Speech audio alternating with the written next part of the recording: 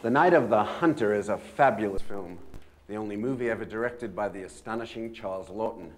It united an extraordinary constellation of talent Stanley Cortez, who shot Orson Welles' The Magnificent Ambersons, critic and screenwriter James Agee, and a cast headed by Robert Mitchum, who's never been more seductive or more terrifying. Mitchum is the hunter, a psychopathic preacher who hates women and kills them for their money. He marries a rich widow played with affecting fragility by Shelley Winters, and then pursues her runaway children through the back roads of Ohio. Mitchum's evil is balanced by Lillian Gish as a sort of guardian angel who radiates a goodness that is both luminous and powerful. A Gothic fairy tale mixing reality and expressionism, The Night of the Hunter remains one of the most original films ever made. We celebrate its 40th birthday by telling the story of how Charles Laughton brought his remarkable vision to the screen. H-A-T-E. It was with this left hand that old brother Cain struck the blow that laid his brother low. L-O-V-E. You see these fingers, dear hearts? These fingers has veins that run straight to the soul of man. The right hand, friends, the hand of love. Now watch and I'll show you the story of life. These fingers, dear hearts, is always a warring and a tugging, one against the other. Now watch him. Old brother left hand. Left hand hates a fighting. And it looks like love's a goner. But wait a minute. Wait a minute. Hot dog loves a winning. Yes, sirree. It's love that won. And old left hand hate is down for the count. We took uh, a most unusual subject, and we took what we had to work with, and uh, Mr. Laughton. uh, made a gem of it. Oh God, we were we had a mutual appreciation society. We all knew we were involved in a great classic that was timeless. They never had a shout for silence. I have never worked with a director who really got performance out of people the way Charles did. A lot of directors, they couldn't direct you to the men's room. I shouldn't be negative about the other guys. I can only be positive about Charles, who was absolutely marvelous. Well, the birth of Night of the Hunter was very interesting. It came about through Harold Matson, who has uh, a literary agency in New York, and one of his clients was Davis Grubb, uh, who had written The Night of the Hunter. And uh, Harold sent me The Galleys, and I was very impressed with it and thought it would make a fine picture, and I sent them to Charlie. Uh, he read them, and uh, immediately he wanted to play the, the preacher. Nebuchadnezzar the king was astonished, and rose up in haste and said unto his counselors, Did not we cast three men bound into the midst of the fire? They answered and said unto the king, True, O king. He answered and said, Lo, I see four men, loose, walking in the midst of the fire when Charlie faced the fact that we wouldn't be able to get finance with him playing the preacher Powell, Laughton sent the galleys to Robert Mitchum. I was very much taken by uh, uh, Davis Grubb's writing and by his uh, delineation of the characters, you know, which was right on. When I read the novel, I, I was so impressed by the beautiful horror of the writing he was a master at words, and it was like beauty and fear all together. And uh, Laughton got that. I said to him when we were sitting one night at, at my office, and, I, and he was, I wonder who in the hell we could get to direct this thing. I said, Charlie, there's only one person that can direct it. And he looked at me, and he said, who's that? And I said, you, you big poop. And he said, me? And I said, yes. Uh, we stayed at my office till about one in the morning, and he was talking through this thing, and and uh, uh, he was talking like Cecil B. DeMille, like he directed pictures all his life. You know what I mean? The original script was done by James Agee, and uh, I saw it. I, I, read it actually. Held it in my hands. It was uh, at least 250 pages long, extraordinarily long, detailed script. I think it was probably a masterpiece, but it wasn't a film script. Uh, Jim Agee was uh, sleeping on a couch in my den, and he turned in a script that looked like a WPA project, The goddamn thing must have weighed 18 pounds, you know. And then my understanding from Laughton was that he went back to the book, which is a very, very cinematic book. It's one of those books that you almost tear the pages out, paste it in a notebook, and shoot.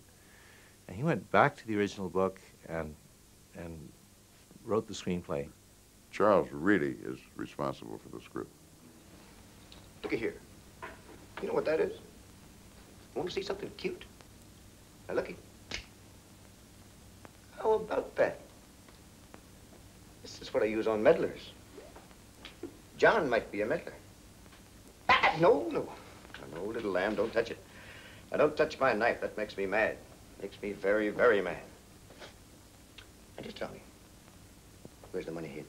But I swore I promised John I wouldn't tell. John doesn't matter. Can I get that through your head, you poor, silly, disgusting little wretch?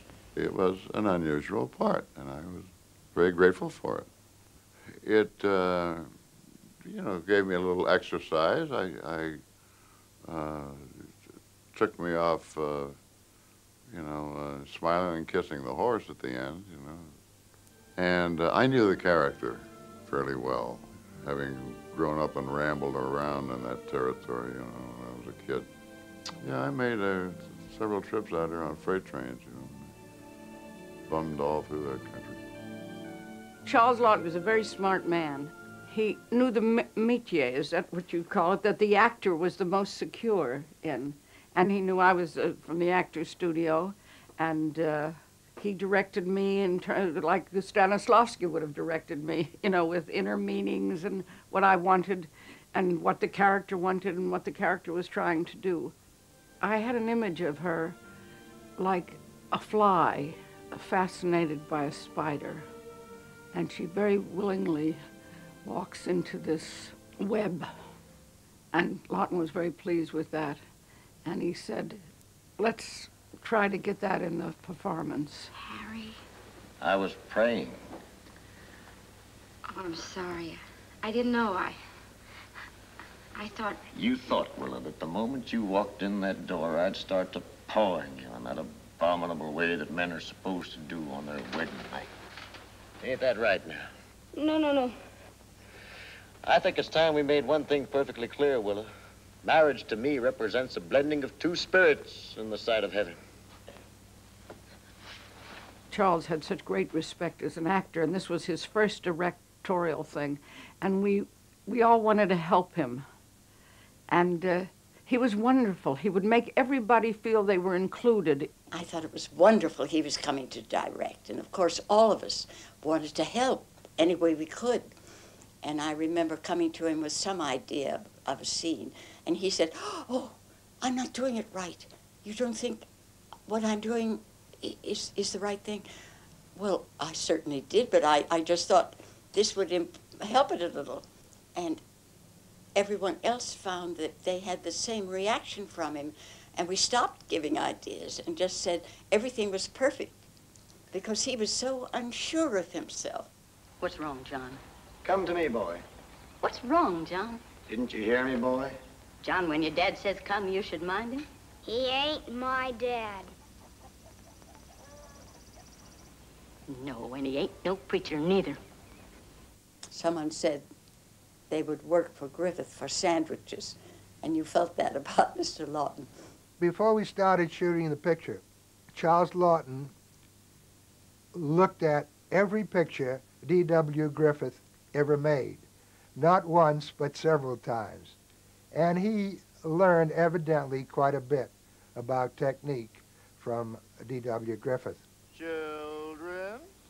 There's a, a long shot outside, and it moves in. Well, that was called in the olden days an iris shot, and that I'm sure he got from D.W. Griffith.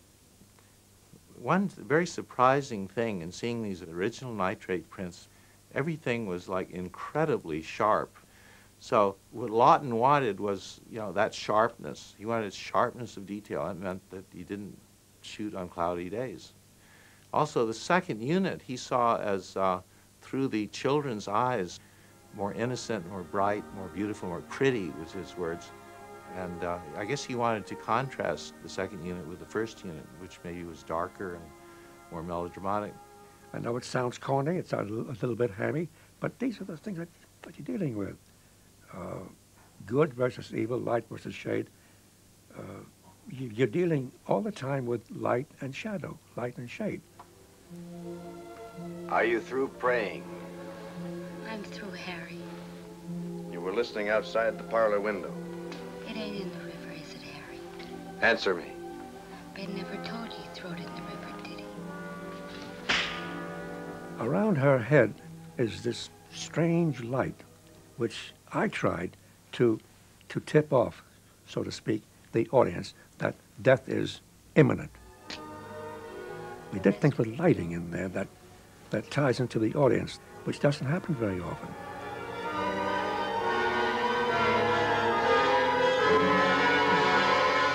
I don't remember exactly how much description was in the script about it, but uh, being an architect, I, I think architectural things are very interesting to the camera.